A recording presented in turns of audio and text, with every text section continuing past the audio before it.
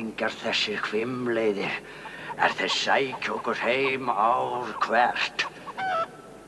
Og þennan hyggst ég drepa.